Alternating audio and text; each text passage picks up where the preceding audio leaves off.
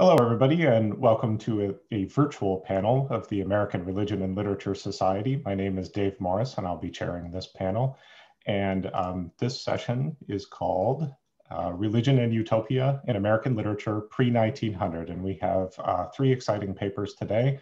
I'll introduce people one by one as they present, and then at the end, we'll, with a relatively small audience, try to have a little bit of a conversation.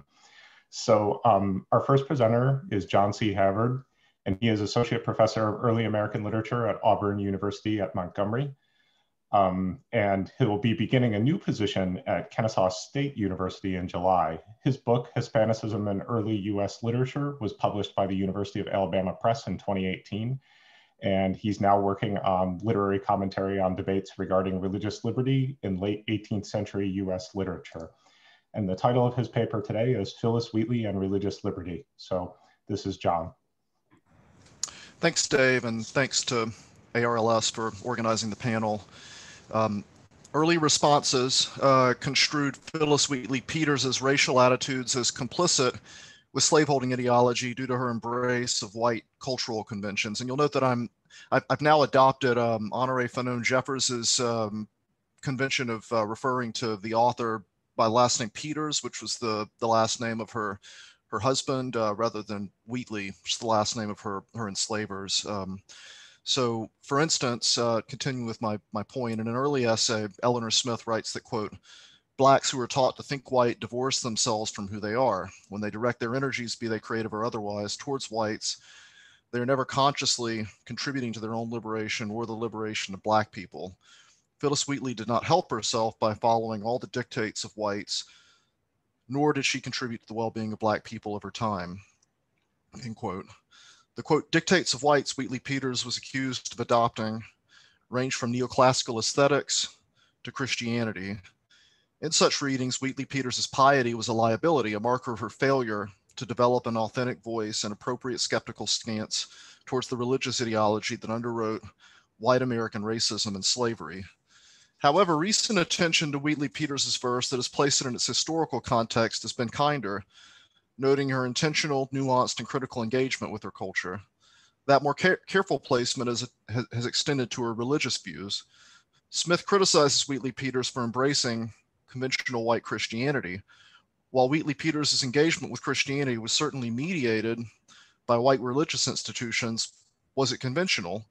First of all, contrary to the perception that Wheatley Peters' religious training taught her to accept slavery and the place in the social order to which it consigned her, James Levernier explains that, quote, although it's true that biblical argument was used during the late 18th century to justify the existence of slavery, an analysis of the lives and works of the many New England ministers with whom Wheatley was associated reveals a far different picture of the Christianity that Wheatley learned than was previously thought.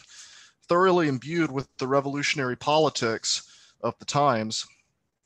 The theological training Wheatley received from the pulpits and clergy of Boston during the 1760s and 1770s was based in large measure on impassioned pleas concerning the innate rights of all humans to personal liberty. These ministers were, in fact, involved in the Northeastern abolitionist movement that took shape during the Revolutionary era and that led to the abolition and led to, led to abolition in the region. Wheatley Peters' religious instruction was not only socially, but also theologically progressive. As G.E. Thompson explains, Wheatley Peters' congregationalist religious community in Boston, as well as the broader network of intellectuals with whom she corresponded as a writer, was influenced by Methodism and Arminianism. Wheatley Peters was tutored at the Congregationalist New South Church of her owners, which was rooted in the Puritan tradition but had been founded upon rejection of the Congregationalist Convention of requiring would be members to relate a convincing conversion narrative to be accepted. Moreover, quote, while Arminianism was anathema to strict Calvinists, Thompson continues, many of its principles appear to have invaded the beliefs of the church Wheatley attended, the New South Congregationalist Church, the religious community of Wheatley's master and mistress, end quote. While like many early Methodists maintaining an interest in Calvinism, she would come to associate with liberal Methodist or Methodist influenced Congregationalists such as Selina Hastings, Countess of Huntingdon, Reverend Joseph Sewall, the Earl of Dartmouth, and George Whitefield. These Methodists were sympathetic to social justice. As Levernier explains, the attraction figures such as Whitefield and Dartmouth posed for Wheatley Peters may be explained by their interest in abolitionism. As Thompson concludes, quote, Wheatley's thought reflects a community, a branch of the Congregational Church that had developed, as Nathan Hatch puts it, an organic relationship between political and religious liberty associated with a new religious enthusiasm, in turn, which in turn was informed by the newly emerging spirit of Methodism and its older spiritual ally, Arminianism, end quote. My essay takes up this issue of, quote, an organic relationship between political and religious liberty, end quote, as it manifests itself in Wheatley Peters' thought. Wheatley Peters' most notable reference to religious liberty comes in her 11th of February 1774 letter to Sampson Occom, in which she explains that Americans who abuse the quote natural rights of black slaves quote cannot be insensible that the divine light is chasing away the thick darkness which broods over the land of Africa end quote.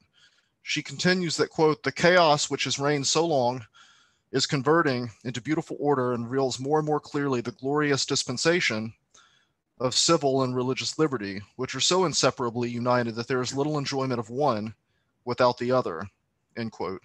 In other words, Wheatley, Wheatley Peters argues that the Christianization of Africa illustrates African exercise of, of religious liberty. That exercise demonstrates African worthiness of political liberty, that is, that slavery is unjust.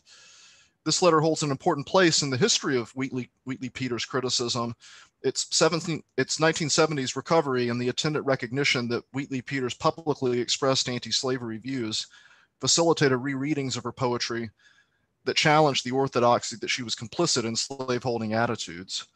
Yet criticism has not extensively analyzed the reference to religious liberty or fully or fully explain what religious liberty meant to Wheatley, Wheatley Peters, an important consideration given the context of viewing her as complicit in conventional Christianity and its relation to slavery. What was religious liberty to Wheatley Peters?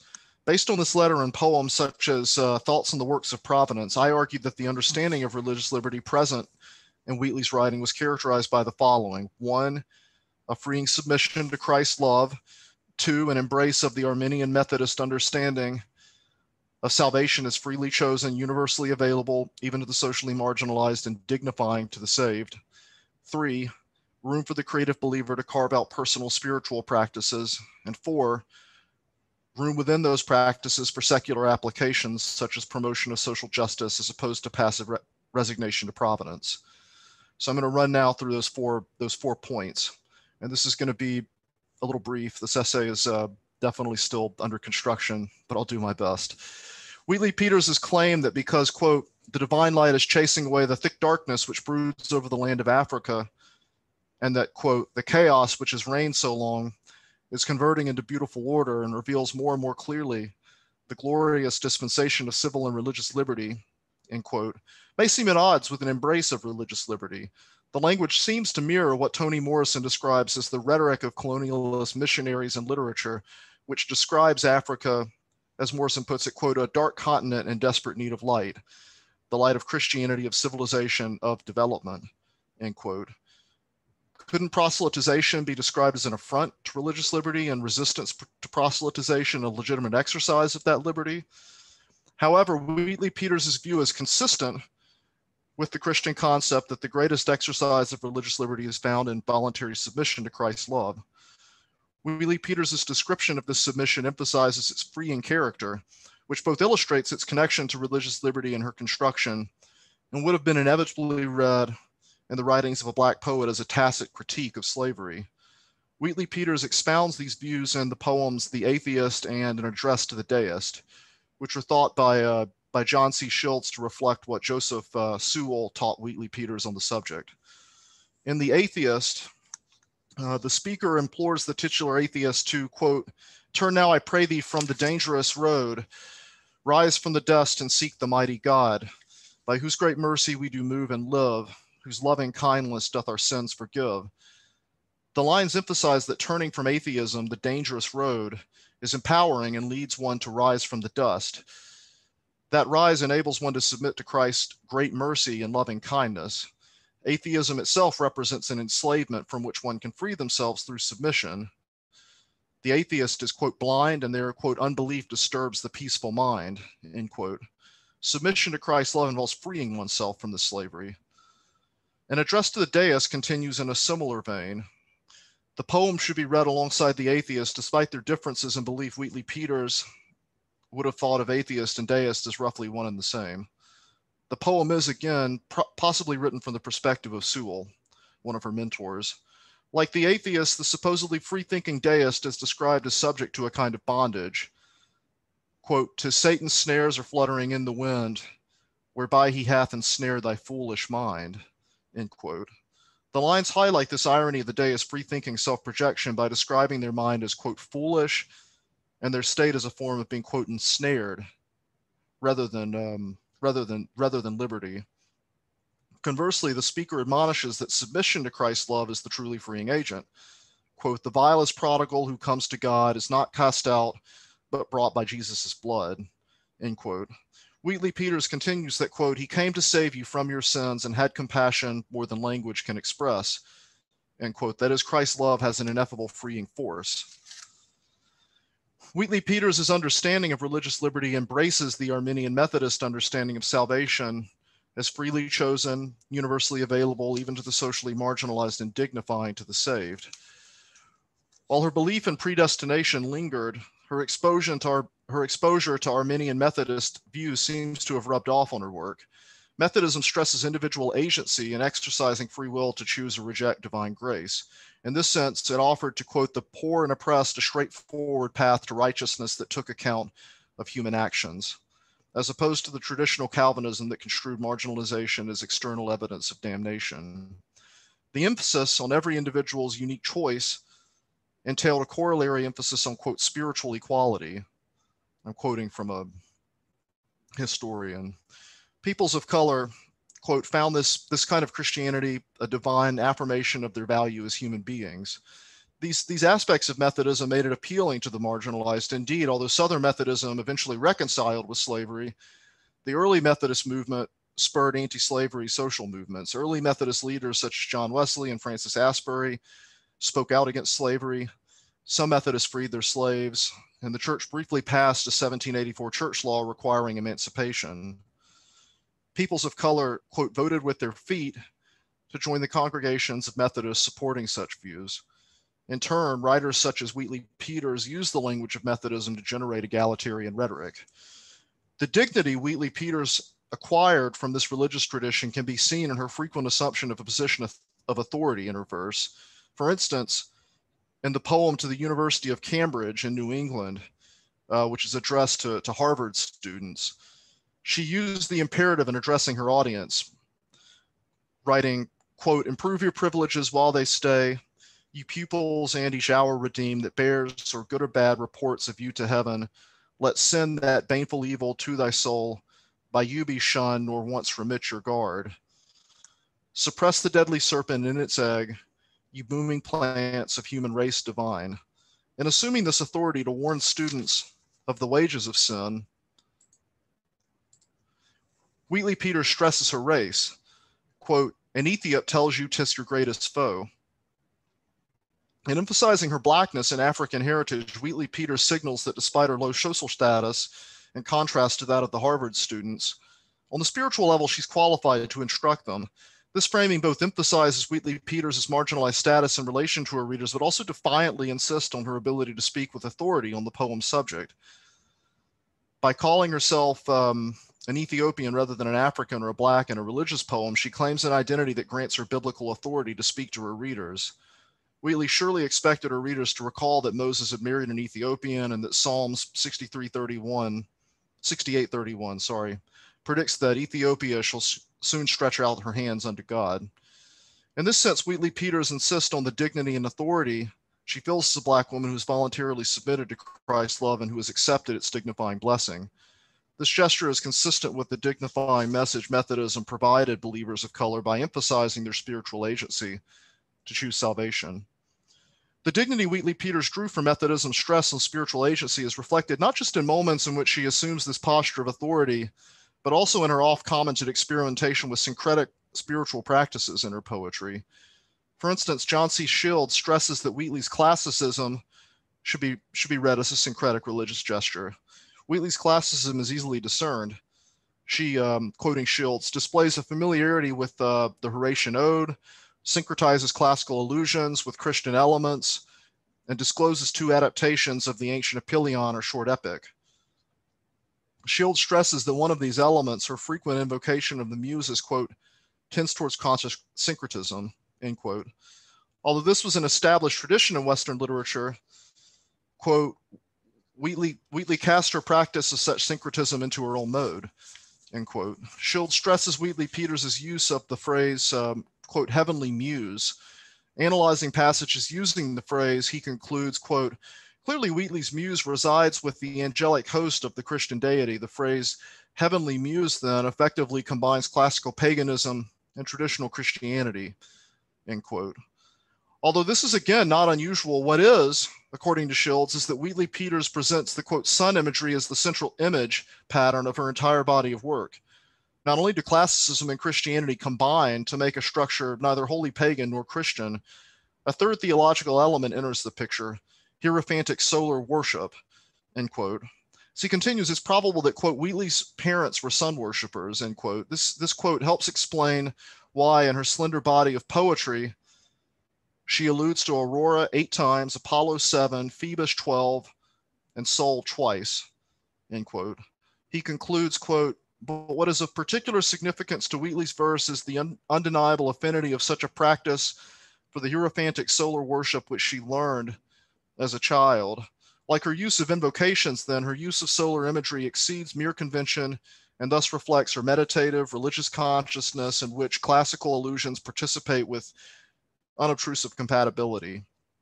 One of Wheatley Peters' most illustrative poems in this vein is Thoughts on the Works of Providence.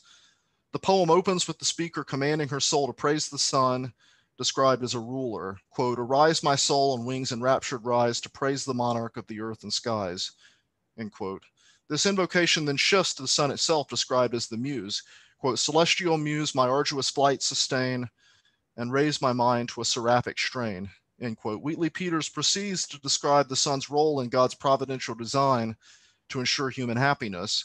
Quote, Adored forever be the God unseen, which round the sun revolves this vast machine.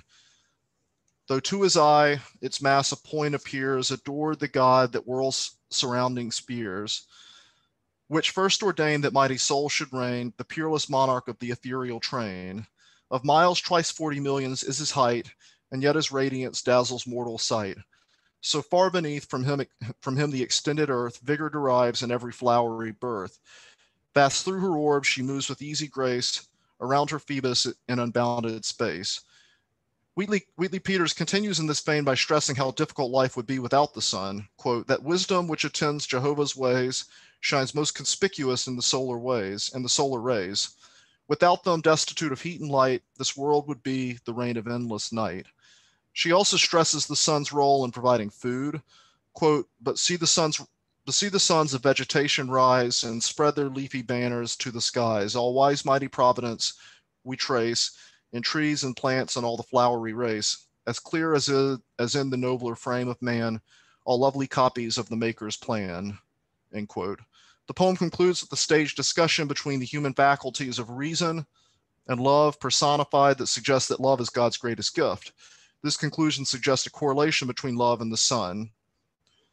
So I'm moving towards the conclusion here. Um, on my last point, Wheatley Peters' theology allowed for secular applications such as advocacy of social justice as opposed to passive resignation to providence. And it's, it's helpful here to return to her letter to Occom based on a correlation between individual agency and choosing to submit to Christ's love and the believer's ability to adopt personal spiritual practices, Wheatley Peters builds an anti slavery argument in the letter. The quote, vindication of quote, natural rights of peoples of color, Wheatley Peters and Occom agree upon, is predicated upon the Christianization of Africa. Those, quote, that invade those natural rights cannot be insensible that the divine light is chasing away the thick darkness which broods over the land of Africa, end quote. Despite prejudiced views to the contrary, Wheatley, Peters, and Occom hold that peoples of color may freely choose salvation. Africans may do so in particularly African ways, as Wheatley Peters did via her hierophantic sun worship, but they're choosing Christ's love all the same. Indeed, the letter ascribes the spread of Christianity, quote, divine light, in a nod to Wheatley's uh, to Wheatley Peters' syncretistic association between God and the Sun. The choice to freely exercise personal religious choices in this matter for Wheatley Peters is dignifying to those who make it. She stresses that the choice ought to entail not just spiritual, but secular salvation. Quote, the glorious dispensation of civil and religious liberty, which are so inseparably united that there's little or, little or no enjoyment of one without the other. Wheatley Peters stresses that the desire for the salvation and the liberty that allows for it's available to all. Quote, for in every human breast, God has implanted a principle which we call love of freedom. It's impatient of oppression and pants for deliverance. And by the leave of our modern Egyptians, I will assert that the same principle lives in us. End quote. For Wheatley Peters, based on this Occom letter, uh, religious liberty necessarily involved accepting Christianity. However, this acceptance entailed recognition of the humanity of peoples of color and thus that they shouldn't be enslaved. This is why civil and religious liberty are inseparable to her. Wheatley Peters therefore concludes with a scathing indictment of the hypocrisy of Christian slaveholders, writing, quote, God grant deliverance in his own way and time and get him honor upon all those whose avarice impels them to countenance and help forward vile calamities upon their, their fellow creatures. This I desire not for their hurt, but to convince them of the strange absurdity of their conduct whose words and actions are so diametrically opposed. The letter thus illustrates the potential for secular applications in her conception of religious liberty. Thank you. Thanks so much, John, for that really interesting paper. Um, and I'm sure we'll talk more about it in a little bit. Our next presenter is Andrea Frankwitz, and she is Associate Professor of Literature at Gordon College, where she chairs the Department of English Language and Literature. Her teaching interests range from early American literature to modern American literature, including courses such as American Romanticism, African American Lit, and the Great American Novel, Henry James, and other, um, or sorry, and the broader American literature surveys. She's currently revising her manuscript project on 19th century American slave narratives. In her free time, Andrea enjoys leading cultural tours to Europe, visiting museums, attending plays and concerts, and making road trips to national parks with family and friends. And her paper title today is Paradise Pre-Gained, Heavenly Voices and Visions in the Memoir of Old Elizabeth, a Colored Woman. So please welcome Andrea. Thank you, Dave. Uh, just a little note, I'm no longer the department chair. Okay, uh, buried in obscurity for nearly a century, the slave narrative of Old Elizabeth has been as overlooked by critics as the woman herself was displaced by her culture. Despite the slave narrative genres taking on its classic form and tone between 1840 and 1860, when the Romantic movement in American literature was in its most influential phase, the publication of slave narratives continued well past the Civil War and into the 20th century. In his essay, The Representation of Slavery and the Rise of Afro American Realism, 1865 to 1920, William L. Andrews observes, however, that other than what has been directed toward Booker T. Washington's Up from Slavery, most critical attention has been on the antebellum slave narratives. While those accounts written prior to the war generally focus on the struggle for freedom and serve the abolitionist cause, the postbellum slave narratives implicitly speak to a different purpose. Although, as Deborah E. McDowell and Arnold Rampersad note in their introduction to slavery and the literary imagination, after the Civil War, many striving Blacks elected to join the forces of political conciliation between North and South and deliberately downplayed the hellish picture of slavery common in abolitionist rhetoric before the war, while others conspired for one reason or another with nostalgic treatments of slavery then popular, old Elizabeth does neither. What is, what is peculiar about the memoir of old Elizabeth, a colored woman, is not only that it might be read as either a slave narrative or a spiritual autobiography, but also that its narrator seems almost nonchalantly dismissive of her time as a slave, with her manumission, quite remarkably, nearly glossed over. This is not to say, however, that her experiences and her representations of bondage could be extracted without significant effect to her ideas of personhood. Far from serving to mollify those unsympathetic to the cause of justice, the abbreviated narration of her time in slavery may be seen as reflecting the slave narrator's refusal to capitulate to hegemonic forces and as foreshadowing her own subtle and strategic assertions of agency.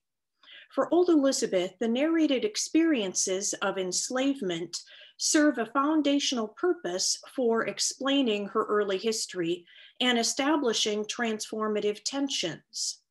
Old Elizabeth seeks to challenge the cultural assumption that anyone could or should be sovereign over oneself or another. She recognizes a spiritual enslavement as much more weighty and confining than that which any physical or legal bonds might prove. She has found liberty instead, not only in converting to Christianity, but also in becoming a person of destiny through faithfully imagining the eternal promised land. In her slave narrative, Old Elizabeth uses her heavenly visions, language of spiritual ecstasy, and metaphors of destination to confound worldly wisdom and authority and to affirm her liberated identity. Significantly, what old Elizabeth has in common with other slaves is the fact that she has been, in essence, subject to a denial of personhood and has been under the control and authority of her oppressors and this peculiar institution. What she offers by way of rhetorical strategies in her narrative might be seen as countering these maneuvers. As William L. Andrews in To Tell It tell a free story has contended, some fugitive and emancipated slaves have, through the telling of their stories, offered a declaration of independence and identity and have thereby experienced a type of self liberation. For Elizabeth, the telling of her experiences undoubtedly was important, but how she tells her story suggests and is reflective of a different or additional means of freedom one that was not contingent upon her having first been manumitted. Such a possibility for freedom while still enslaved was also articulated in one of the most well known and influential slave accounts, Narrative of the Life of Frederick Douglass. Describing his battle with Mr. Covey as a turning point in his life as a slave, Douglass says, It rekindled the few expiring embers of freedom and revived within me a sense of my own manhood. It recalled the departed self confidence and inspired me again with a determination to be free. The gratification afforded by the triumph was a full compensation for whatever else might follow, even death itself. He only can understand the deep satisfaction which I experienced, who has himself repelled by force the bloody arm of slavery. I felt as I never felt before. It was a glorious resurrection from the tomb of slavery to the heaven of freedom. My long crushed spirit rose, cowardice departed, bold defiance took its place. And I now resolved that, however long I might remain a slave in form, the day had passed forever when I could be a slave in fact. Whereas for Douglass, this triumph, whether it consists of his physically beating Covey and or his renewed self-determination, results in the heaven of freedom, for old Elizabeth, her triumph is spiritual and results in what might be conversely called the freedom of heaven.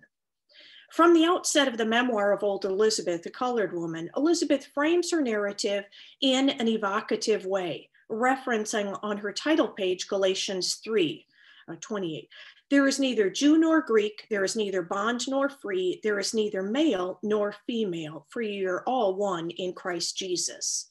This epigraph thus prepares the reader for a layered text and sets the stage for the depiction of a different kind of reality than one might ordinarily encounter, even on the experiential level. In choosing to use this passage for her slave narrative and placing it immediately after her title, Elizabeth implicitly points to a spiritual reality not yet fully manifest on earth, but which speaks to her affirmed identity in Christ. The scripture not only serves to question, but also sets at naught that which the world privileges and gives credence to. This initial framing then sets up a pattern within Old Elizabeth's account that suggests a different way of attaining freedom. One of the means by which Elizabeth separates herself from her slavish condition is through a heavenly vision of her spiritual state. She describes a time when, as a young slave, she feels so physically weak and alone that she thinks she will die. But sensing she's not prepared to meet her Maker, her spirit cries out, Must I die in this state and be banished from thy presence forever? I own I am a sinner in thy sight and not fit to live where thou art. Then, with her spiritual eye, she sees an awful gulf of misery and just when she thinks she's about to plunge into it, she hears a voice telling her to rise up and pray. When she asks Christ to save her, she immediately sees a director clothed in white raiment who leads her down a long journey to a fiery gulf.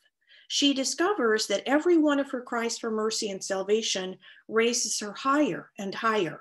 Upon seeing the Savior standing with his hand outstretched to receive her, she thanks and praises him, crying, Thou hast redeemed me, thou hast redeemed me to thyself.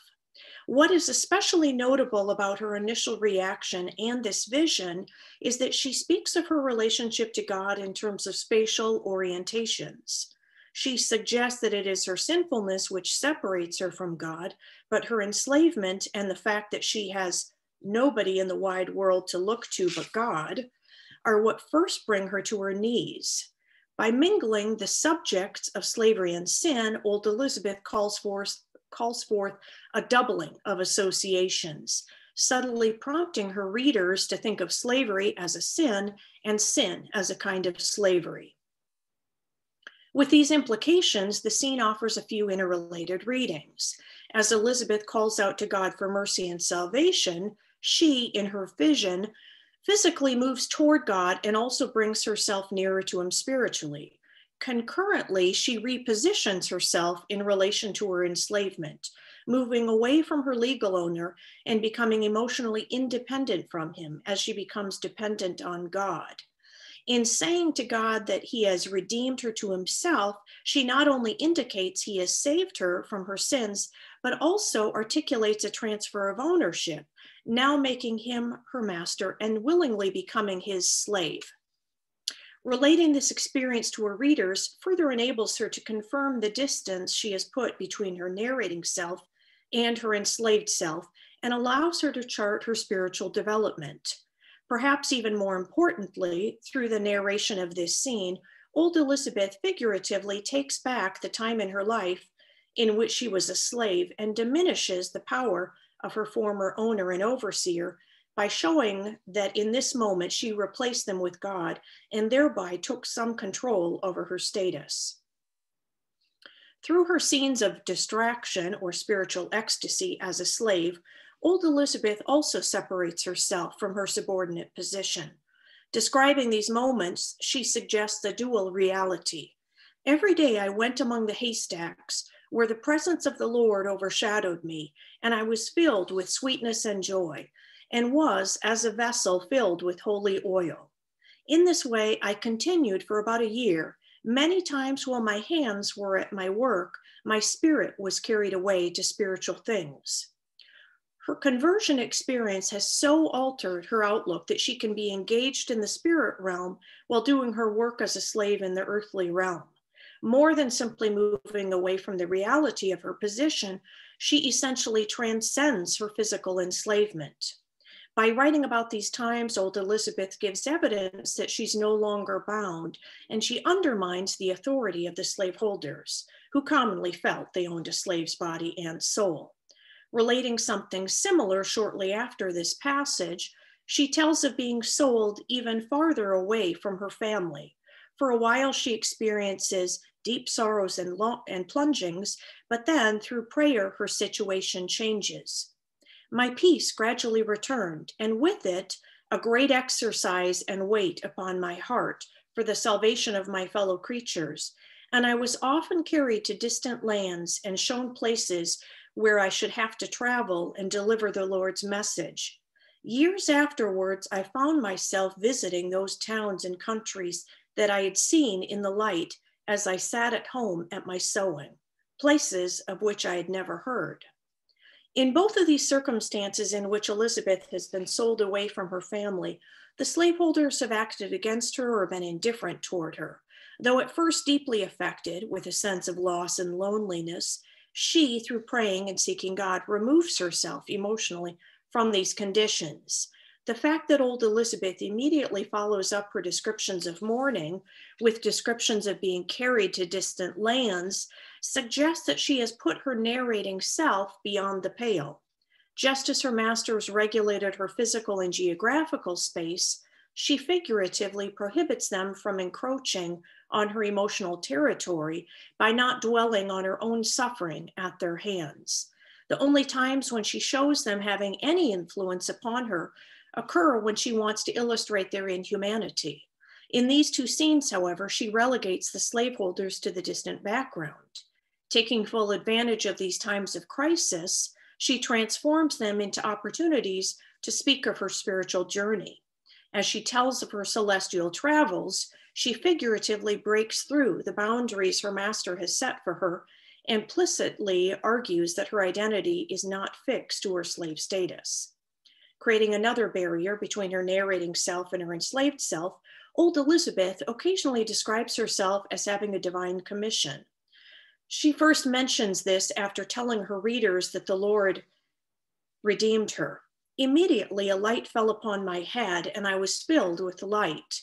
And I was shown the world lying in wickedness, and I was told I must go there and call the people to repentance, for the day of the Lord was at hand. In this passage, she not only presents herself as having a new nature, but also refutes slavery's chattel principle, which deems her subhuman and estimates her worth according to her ability to perform physical labor. Dolores S. Williams, in her article Visions, Inner Voices, Apparitions, and Defiance in 19th Century Black Women's Narratives, suggests that though there was no practice of ordaining women in the mainstream institutional churches, some, some Black women, such as Elizabeth, found in their, in their particular religious experiences the self esteem and courage to begin their public work. The urge to speak publicly about God and to defy those who interfered came from the empowering visions they had, the voices they heard in the apparitions they saw. While as a slave, Elizabeth is not even acknowledged by law as a full person, in sharing this vision, she here rhetorically overturns that decree, asserting that God has blessed her and thinks her worthy to be used for a high purpose. Implicitly arguing that she has stood apart from the world, world's depravity and that she has an elevated status with God, old Elizabeth enlarges the space between her narrating self and her assigned position of inferiority this gracious calling of hers may account for how she speaks of her legal freedom. Although slave narrators generally show their escape, their escape from their masters as momentous occasions within their lives, old Elizabeth's depiction of her release from slavery is anticlimactic. Confining it to one isolated paragraph, she treats it nonchalantly. Some years from this time, I was sold to a Presbyterian for a term of years as he did not think it right to hold slaves for life. Having served him faithfully my time out, he gave me my liberty, which was about the 30th year of my age. Through her cursory description, she figuratively deflates the power of her masters, showing that in writing, or rather dictating her narrative, she's now in a position of authority. Similarly, the brevity of the passage suggests that her obtaining her legal freedom barely made an impact on her rather than pointlessly making herself vulnerable by writing at length about how this new liberty changed her life and thus placing her former master in a superior position, she downplays it and moves right along to the next scene. Her placement of this passage holds significance because it sheds light on her apparent indifference to being released from slavery.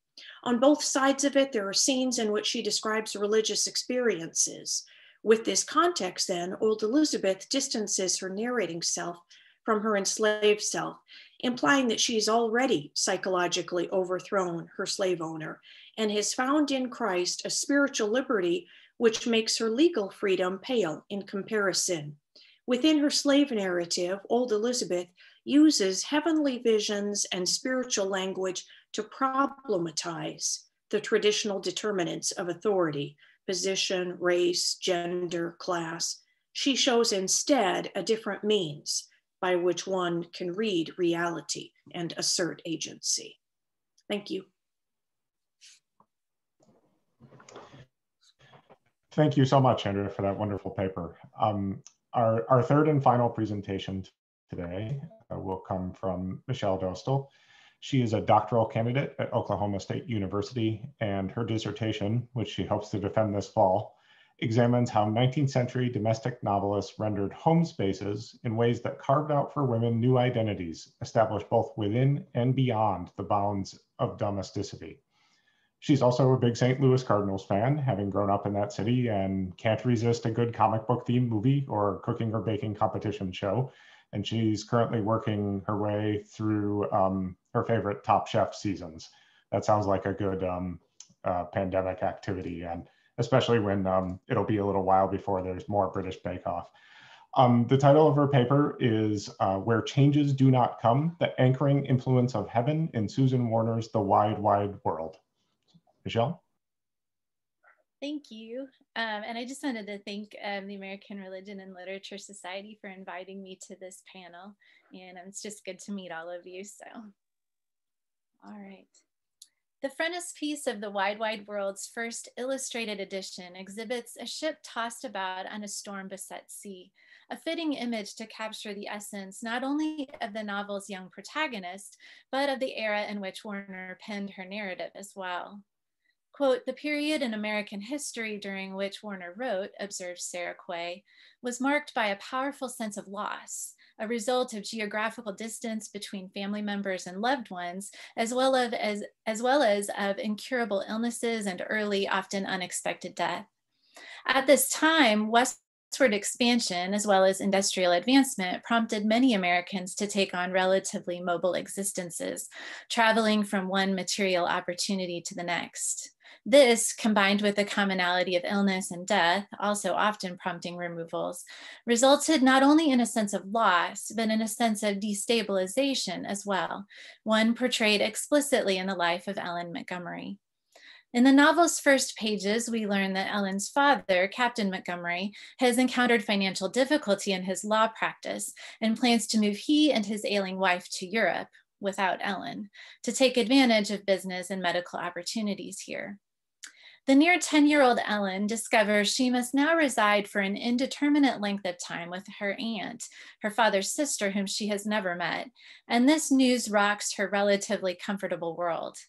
The rest of the novel follows Ellen on her trek from her beloved mother and her New York City home to the uncomfortable rural farm of her cheerless but efficient Aunt Fortune, and along the way outlines the ways Ellen seeks to recuperate the sense of home she loses during this move. We observe her go through the types of loss described by Quay, for not only does Ellen lose her childhood home, but she also endures the early deaths of her mother and her eventual mentor, Alice. Yet, while the novel highlights the anxiety and loss so typical of the era, Ellen's story even mirrors some events from Warner's own life. Warner is not without hope as we, follow, uh, as we follow Ellen's storm-tossed journey from the home of her infancy to the world of rigid Aunt Fortune, we also glimpse the way in which Warner looks to religion and the kingdom of heaven as a means to anchor oneself in the midst of destabilizing loss. Several scholars, such as Quay, Jane Tompkins, Brandy Paris, and Catherine O'Connell, discuss the narrative with regard to 19th century ideas of domesticity and how the novel either buttresses or resists these conceptions. Considerations of domesticity do prove fertile ground for inquiry in this novel, so frequently categorized as sentimental domestic fiction. Yet Warner embeds in her text a theme regarding home spaces, the theme of heaven as the only true home, that more than domestic considerations underscores what she sees as the answer to loss and instability. Tompkins and others approach this theme still within the context of domesticity, claiming that heaven is home in the novel translates into women imbuing the domestic spaces of earth with a heaven like bliss. Warner's Calvinistic approach to the religious ideas she discusses and exemplifies in her narrative, however, suggests we must also explore this theme as the literal expression of a Christian belief, the understanding that the home of God in heaven is the Christian's true home, as opposed to any earthly residence, no matter how heaven like. This understanding issues from several biblical verses, including Hebrews 13, 14, which reads, quote, For here we have no lasting city, but we seek the city that is to come, from the English Standard Version of the Bible. This extends a sentiment described earlier in Hebrews 11, 13 through 16, which explains the way in which the Israelite patriarchs, quote, acknowledged that they were strangers and exiles on the earth and seeking a homeland, choosing not to return to their earthly homes because, quote, they desire a better country, that is, a heavenly one. Mrs. Montgomery references these verses as she prepares Ellen for their parting, explaining to Ellen, quote, we have no continuing city here. But there is a home, Ellen, where changes do not come. And they that are gathered there are parted no more forever, and all tears are wiped from their eyes. Her words and the verses they acknowledge a firm belief in an eternal heavenly dwelling made by the very hands of God and residing in a lasting celestial city, notions that connote the stability and security lacking in 19th century home spaces where removal and loss always threaten to destabilize people's worlds. Given these implications, the belief in heaven as home forms an attractive hope for people suffering loss. This theme, however, develops as a progression for young Ellen, for just as John Bunyan's The Pilgrim's Progress eventually becomes Ellen's favorite book next to her Bible, Warner's narrative similarly, similarly evokes a Bunyan-esque feel in its recording of Ellen's spiritual journey through the four or five years we follow her. Although Mrs. Montgomery introduces heaven as home early in the novel, Ellen, not yet a Christian, will have to grow into this belief, one she ultimately reaches in her quest to recoup some sense of the home she has lost. Warner not only situates this lost home as a location, the place in which Ellen feels safe and comfortable, as opposed to Aunt Fortune's, quote, bare and comfortless house, but even more so as a person, the mother who, like a home space, quote, would have been a sure refuge and protection from all this trouble.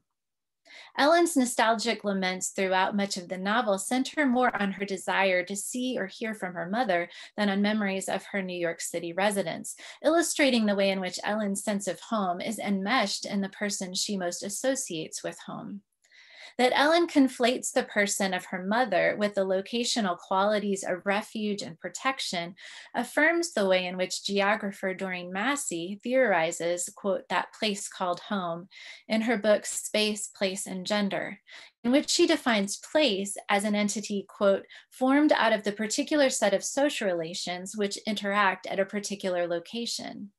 Massey further explains that much of the upheaval people experience as a loss of home proves in actuality to be a rearrangement of social relations, implying that people's sense of home flows from the social relations they experience within the location they call home. To be sure, Ellen here faces changes in both location and relationships, but the latter change affects her at a much deeper level as she looks to her mother as a refuge and her true home for much of the novel. Quote, in a novel whose first word is mama, observes Dana Luciano, there is never a question for anyone other than Ellen that the mother is going to be lost. Ellen will indeed never physically reunite with her mother before Mrs. Montgomery dies, and Aunt Fortune proves no substitute for this home mother that she loses, instead becoming more of an adversary than anything. Having failed to find a comforting home in her relationship with Aunt Fortune, Ellen turns instead to the consolation she finds in the constancy of nature, a somewhat new relationship for this former city girl. In one scene subsequent to a fight with her aunt, Ellen, feeling sharply the sting of her recent loss of home, not yet her mother's death, however, finds in nature intimations of the deep bond she desires. In a chapter titled, quote, Mother Earth rather than Aunt Fortune, we begin to see forms of nature exhibit the comforting refuge-like characteristics displayed by Mrs. Montgomery.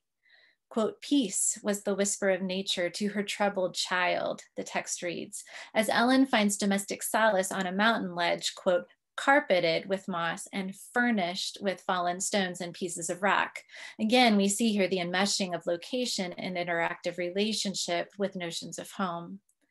The resulting release of emotion Ellen experiences here indicates her resonance with this new home-like space and relationship. This mountain, known in the novel as the Nose, forms a central figure in Ellen's search for home, as it not only acts as the geographical center of the rural landscape, the text situates all residences in relation to this mountain, but it also functions as the central spiritual image within the narrative. The qualities generally associated with mountains, such as immovability, strength, and stability, encompass much of what Ellen and Warner and others in the era hoped to find in home spaces, but in reality did not experience. Ellen's acceptance of nature, of the nose, as a surrogate mother early in the text illustrates her first step toward embracing the belief of heaven as home. For throughout the novel, Warner highlights a connection between the stability of the home like mountain and the perfect stability found in God in his heavenly home. This metaphor harkens back to many of the biblical writers who liken God or his dwelling to a great rock or mountain.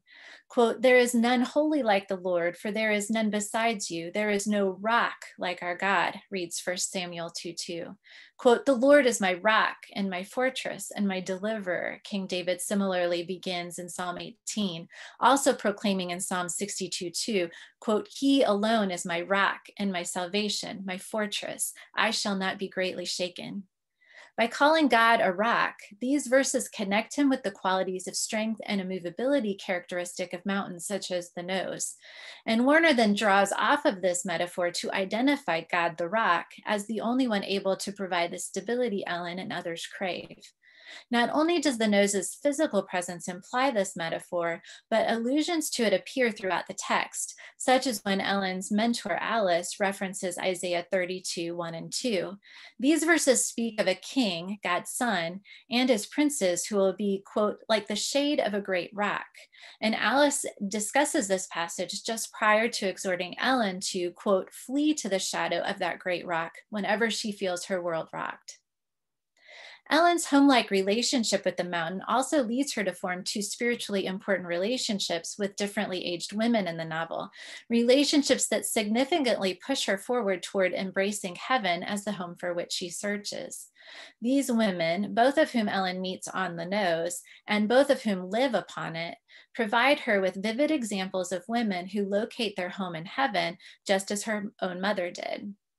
Her friendship with Alice, whom Ellen meets at that first poignant home-like scene on the mountain, proves the more intimate of the two and transforms quickly from acquaintance to teacher, mentor, adopted sister, and surrogate mother, all relationships that variously imply notions of home.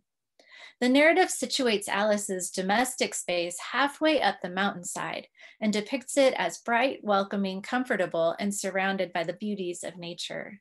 The establishment of Alice's home halfway up the mountain also seems to parallel her position in the Christian journey toward perfection in God's heavenly home, a home she also claims as her own at various times in the novel. She has begun and traveled on her spiritual journey a considerable way, but still has more to learn. Ellen's relationship with Alice also leads to a relationship with the much older Mrs. Vawse, a spiritual mentor to Alice, who eventually mentors Ellen as well. The narrative depicts Mrs. Vawse's house as oddly shaped and spare, but ultimately clean, happy, and comfortable, and built into the mountainside. Um, as with Alice's domestic space, the house, house's placement near the top of the mountain likewise identifies her position along the Christian spiritual journey. The specific way in which Warner depicts Mrs. Vawse's perch atop the mountain, in fact, alludes to two different biblical stories, that of Noah in Genesis chapter 6 through 8, in which his ark comes to rest on Mount Ararat's summit, and the wise man from Jesus's parable in Luke 6, who builds his house upon a rock. These allusions thus imbue Mrs. Vawse with the characteristics of these men, whom the Bible characterizes as spiritually wise and faithful, qualities Mrs. Vawse also displays in her speech and manners. All of these things, Ellen's new relationship with nature, the mountain and its biblical implications, and the women who reside on that mountain, encourage Ellen in her spiritual progression and search for home, and ultimately point to heaven as the stable home she most desires. These all, in fact, perform the function of what Colossians 2.17 calls, quote, the shadow of the substance. They show in part and imperfectly what heaven is in whole and in perfection, a concept taught to Ellen by Alice's brother John.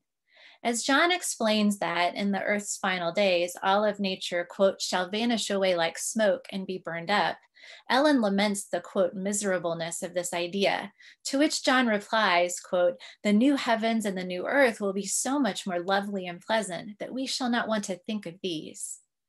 In these terms, the mountain in the novel, in its earthly strength and stability, ultimately demonstrates the stronger and ever more stable place of heaven as eternal home. And the relationships Ellen enjoys with Alice and Mrs. Vawse serve as imperfect reflections of heaven's perfect relationships. Ellen, however, does not truly embrace this belief until illness and disease sever the last little thread of hope tying her to her mother and to her first original home. When she loses this anchor, her grief drives her into a stupor out of which she is delivered only by reading of Jesus. Quote, she began to cling more to that one unchangeable friend, pens Warner, quote, from whose life neither life nor death can sever those that believe in him and her heart, tossed and shaken as it had been, began to take rest again. Warner implies this as Ellen's Christian conversion. And from this point on, Ellen begins to look more deeply at what the Bible says about God and heaven. She matches what she learns there with all she has observed before this, such as the copies of these truths in nature and the spiritual encouragement of her friends, and finally comes to the belief that heaven is her one true home. This is the belief that anchors the storm tossed Ellen for the rest of the narrative, and it significantly transforms her relationships with nature, with her friends, and even with Aunt Fortune.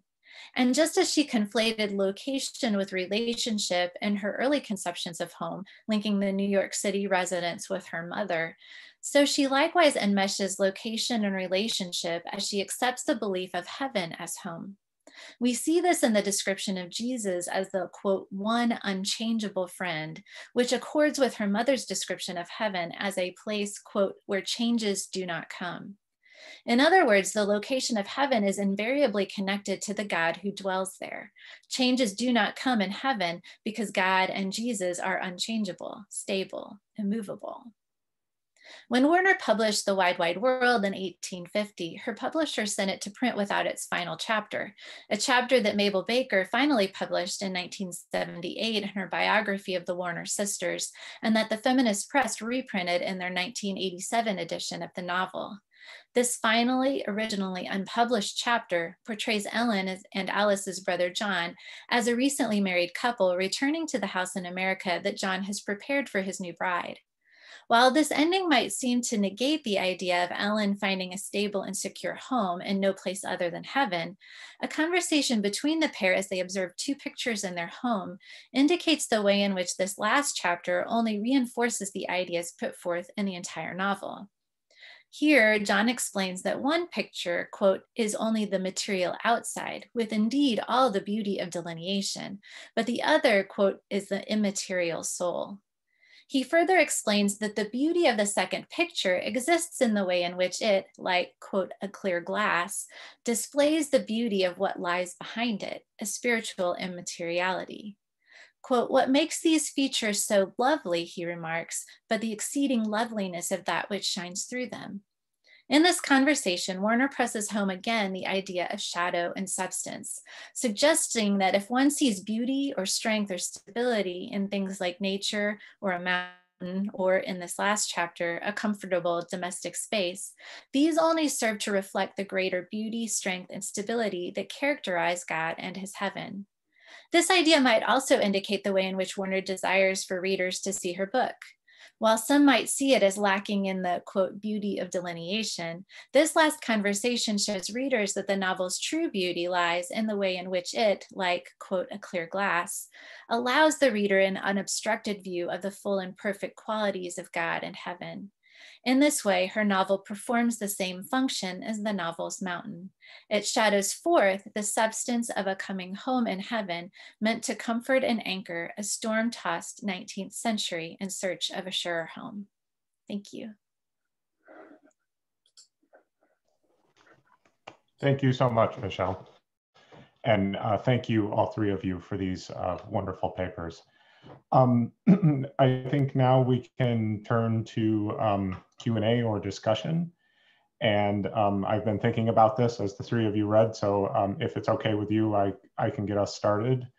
Um, it seems to me that in some way, and in, in all three of your papers, I'm going to change the view here so I can see everybody. In all three of your papers, uh, directly or indirectly, um, the the issue of authority really comes up, uh, particularly the authority of the writers, the characters, and the speakers to um, to sort of define themselves within a context where that self-definition is denied, uh, whether it's because they are women, because they're enslaved, because they are people of color, because um, they are sort of uh, geographically unstable, migratory. And what I wondered, what I, as I was thinking about it is, um, there seems to be a relationship over and over again in which the writers engage the religious through the everyday and the everyday through the religious. And what I'm, and religion very broadly, so theological, narrative, scriptural, etc. What is the advantage to these, not just religion broadly, but to these particular sort of forms of, of Protestantism or of belief or of scriptural reading that allows that engagement to happen that is so advantageous. So in other words, to put it more simply, why engage these issues through the religious or these religious issues through the everyday? And that is meant to be a very broad question, answered however you would like.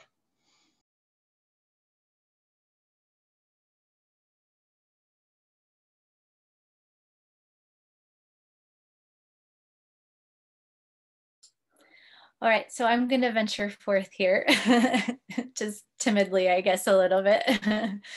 um, I, guess uh, I see maybe part of it as um, like for for like Ellen, and for Warner as women, and and also probably for like um, Wheatley Peters and Old Elizabeth as um, women and people of color.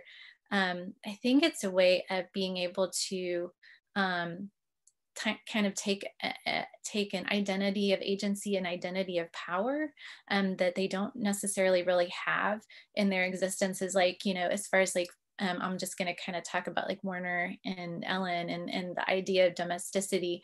Um, like women, um, I think their identity was meant, I think people meant to, to see it grounded in these ideas of the domestic and, and almost kind of, almost kind of like their personhood gets subsumed in that everyday domestic kind of place.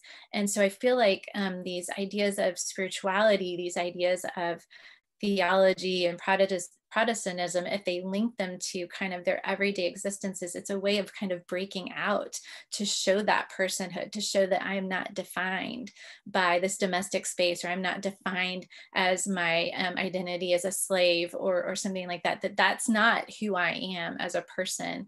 And it's a way of maybe trying to be seen I, think possibly um, and um, so I don't know if that makes sense or anything, but those are just some of the things that I've kind of been thinking about uh, with my dissertation. So I hope that applies a little bit here. So.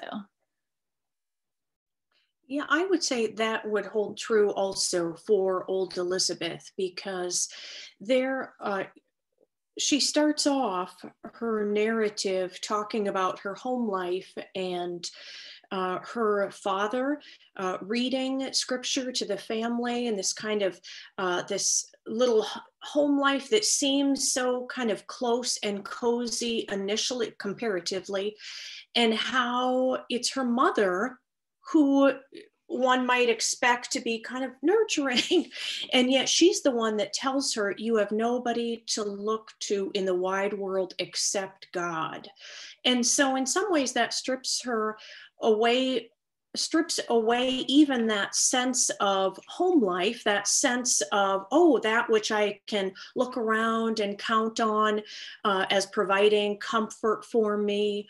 Uh, even, even when she is eventually free from slavery, uh, kind of legal, uh, physical slavery, and goes out as kind of an itinerant uh, minister, she talks about how she's, it's as if she's doing spiritual battle even with some uh, religious leaders who are, she, you know, in, indirectly says, uh, are sometimes doing the work of the enemy, that is Satan, uh, in impeding the work of the ministry. So she's not even looking uh, around at those things uh, that might normally kind of give give her give one a sense of oh okay i'm in this position. I have so and so's approval therefore i'm going to go out and and speak. It's uh, it's how she sees her faith as being internal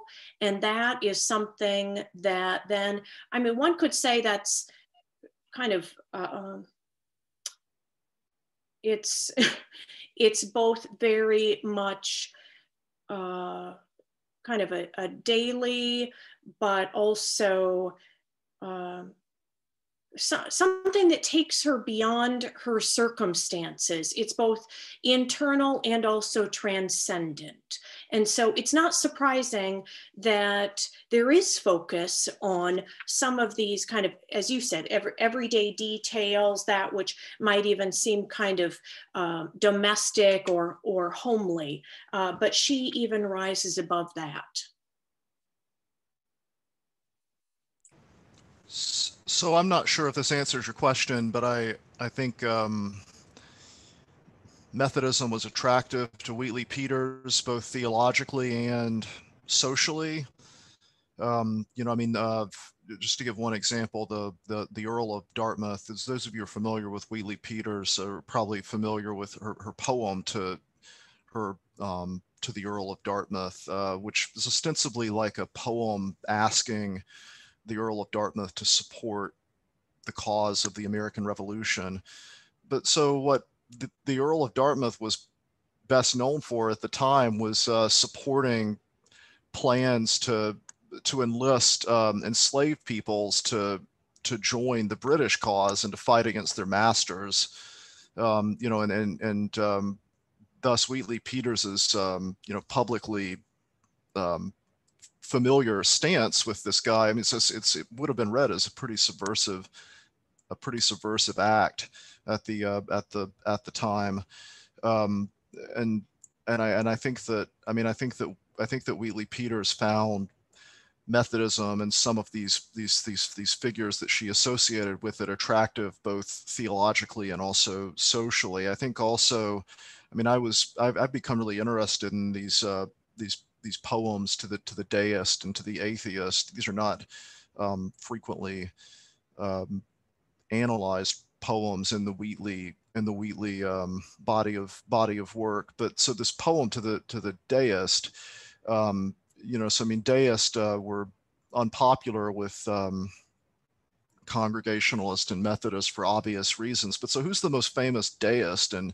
American history? Was Thomas Jefferson, probably. And Jefferson is also well known for, you know, his racist uh, diatribes against Wheatley and his notes on the state of notes on the state of Virginia. So I mean, I find it difficult to read those poems without thinking them as kind of response to to you know to to Jefferson. She's turning the tables on Jefferson's descriptions of her um, of her as a as a terrible as a terrible poet, um, you know, and describing him instead as he's he's a slaveholder, but instead he's the one who's who's who's enslaved. And I I just think there's a lot of. I mean, your question was uh, the, these are authors viewing the everyday through the religious and vice versa, and I and I think that there's I think that there's a lot of that in Wheatley Peters. I think that I think that you know that that, they, that these poems contain religious commentaries, but they're also they you know, to return to like at one time, you know, Wheatley Peters was, um, you know, was criticized for seeming conciliatory towards religion and slaveholding and, you know, and, and,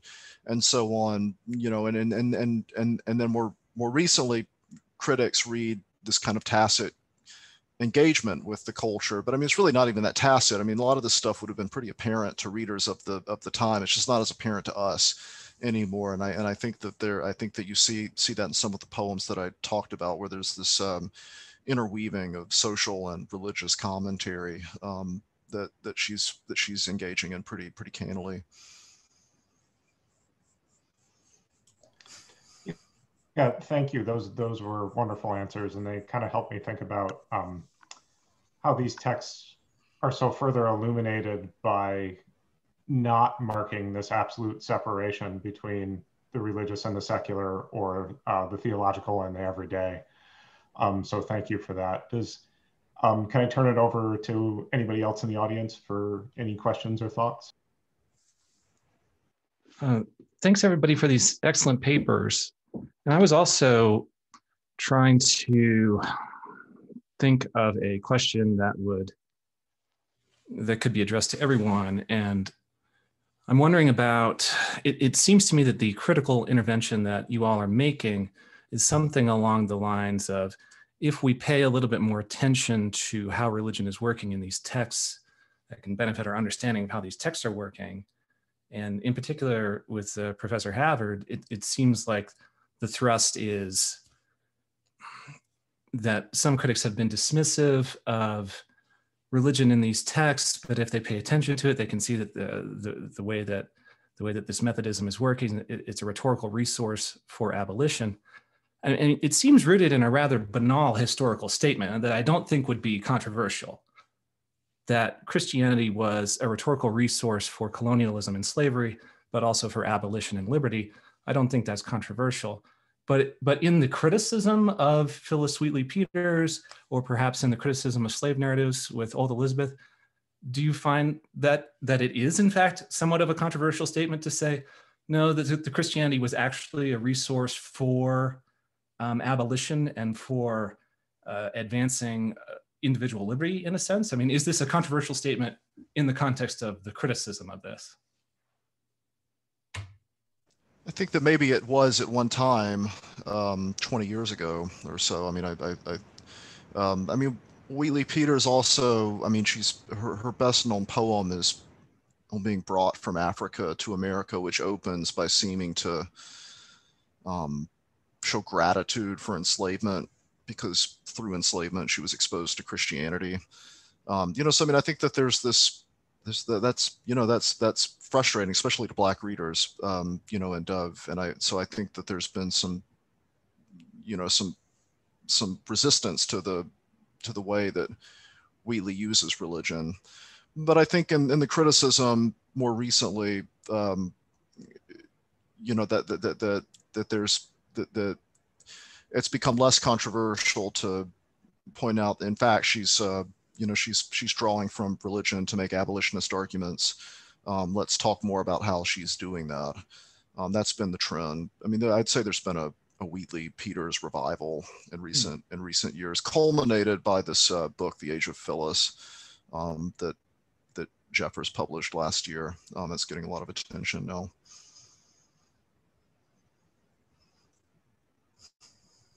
uh, critics have pretty much uh, not given attention to old Elizabeth's memoir. Um, it was for uh, many decades uh, after the publication, initial publication, it was inaccessible.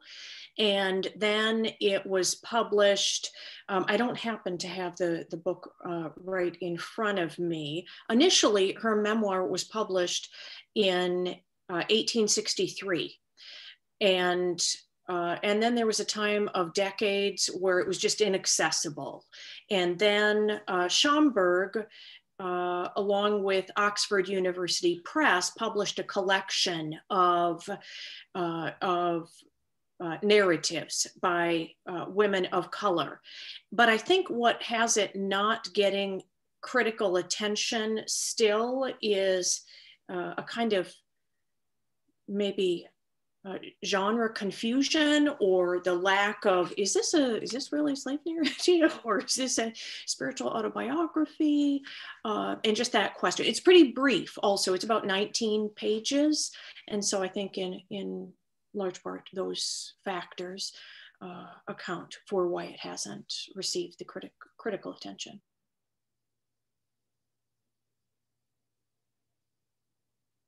And with michelle i is is the criticism suggesting that there's kind of a, an internalized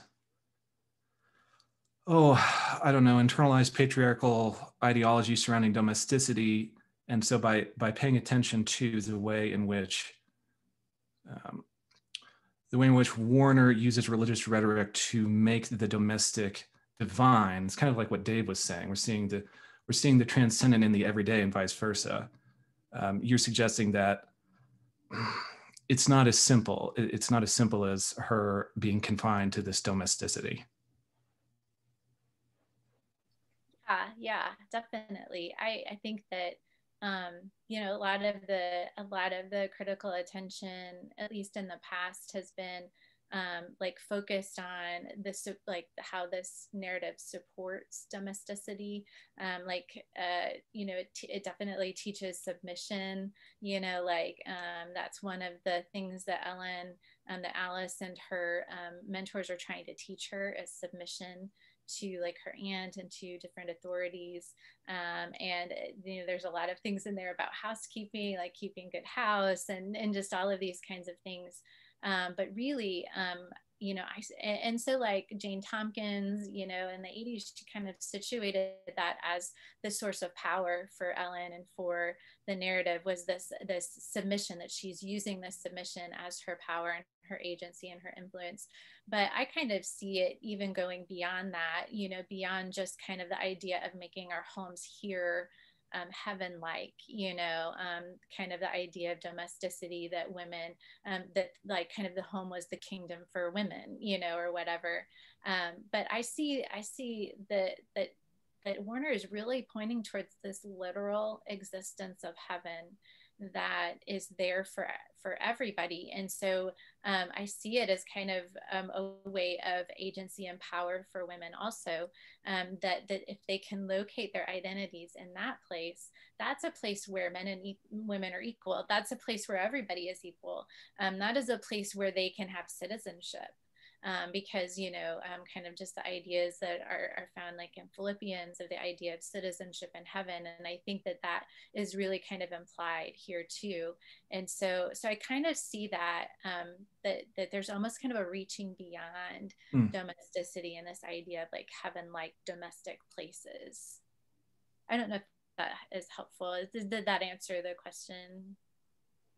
Well i'm i'm wondering maybe tell me whether or not you would agree with this. Maybe even for the hardened materialists among us, maybe this idea of transcendence creates a place where people can imagine certain possibilities that then can be manifest in the material world?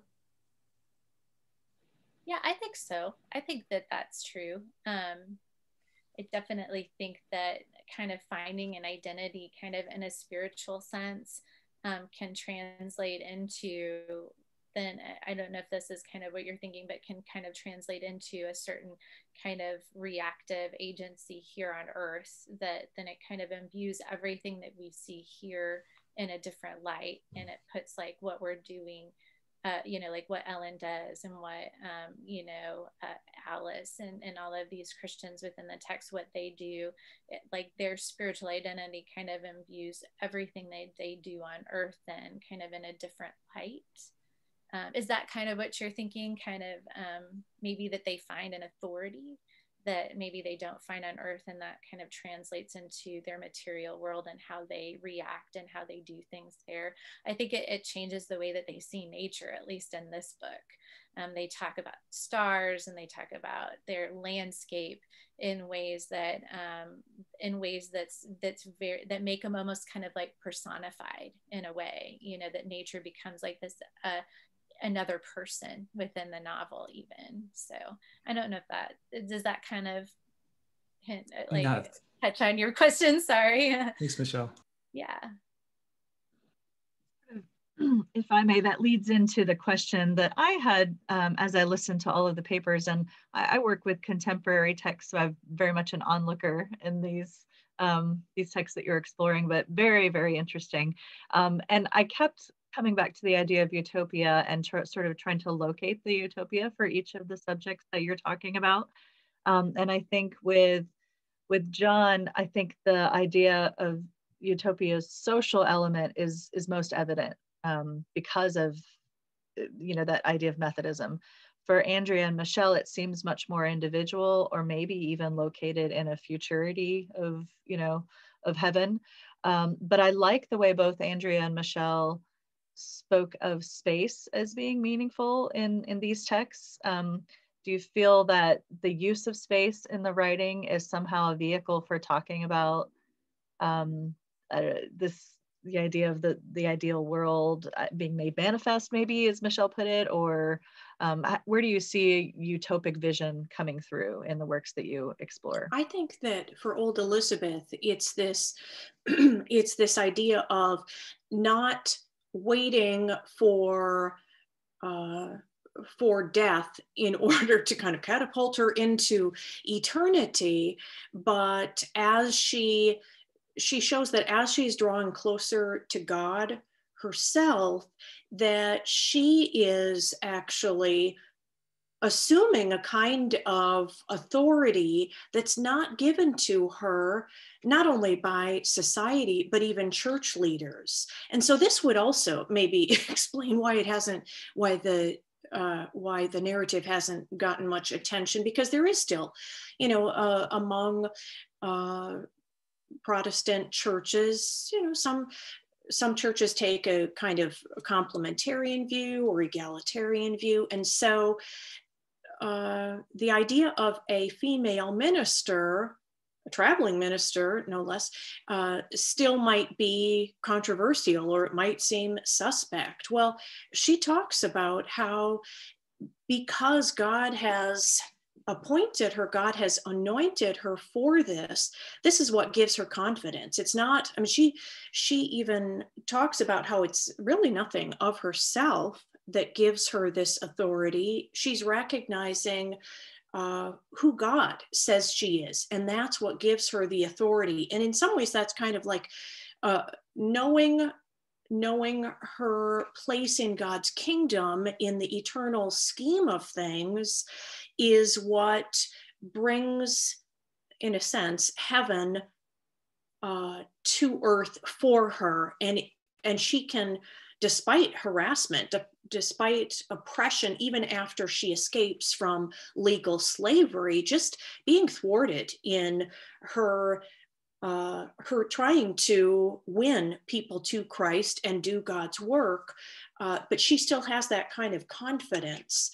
Uh, and I think it's because she lives, uh, she tries to live in that place of where, where God has said, You are worthy, you are worthy she's enacting yes. a, a, utopia that she understands that is at, at odds yes. with the world yes. that she's and even uh, yeah. among some church circles some religious leaders who try to thwart her saying you're a woman what what are you doing here you know holding meetings